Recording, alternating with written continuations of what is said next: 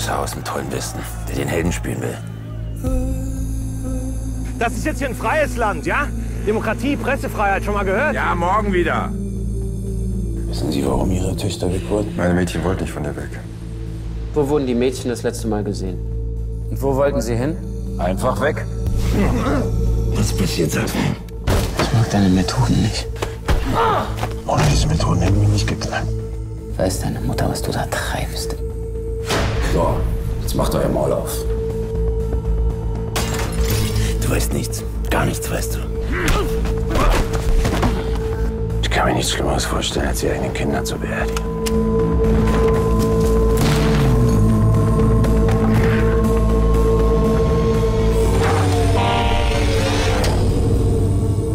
Dürfen wir uns das mal ausleihen? Aber verlieren Sie das nicht.